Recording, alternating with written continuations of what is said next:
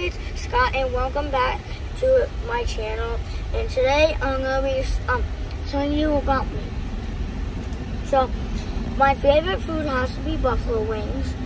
My favorite drink um, is Dr. Pepper, and um, and my favorite color is red and blue. And my favorite sport is football and baseball. Bye.